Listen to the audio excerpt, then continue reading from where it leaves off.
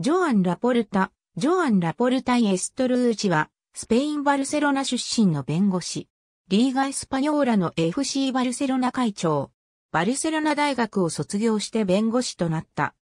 1998年の FC バルセロナ会長選挙でホセルイス・ヌニエスが再選を果たした半年後、エレファント・ブレブという組織を結成して理事会に会長の不信任投票を要求したことで注目を集める。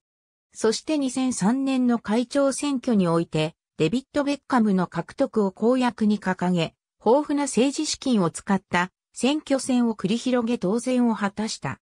ベッカム獲得はならなかったものの、スポーツ部門のサンドロロ制服会長の活躍で、ブラジルのロナウジーニョの獲得に成功。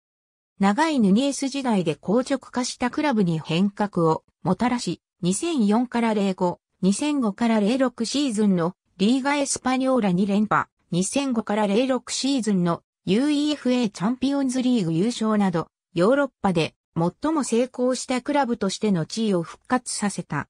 2010年6月30日、任期満了に伴い FC バルセロナ会長を退任した。後任はサンドロ・ロセ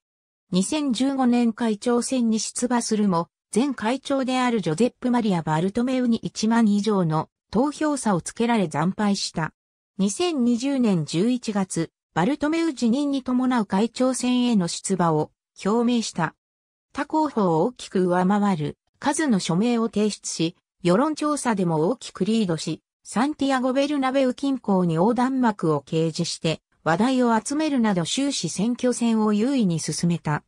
2021年3月8日の投票では、過半数の3万184票を集め、ビクトル・フォント、トニ・フレーシャを破り、新会長に選出された。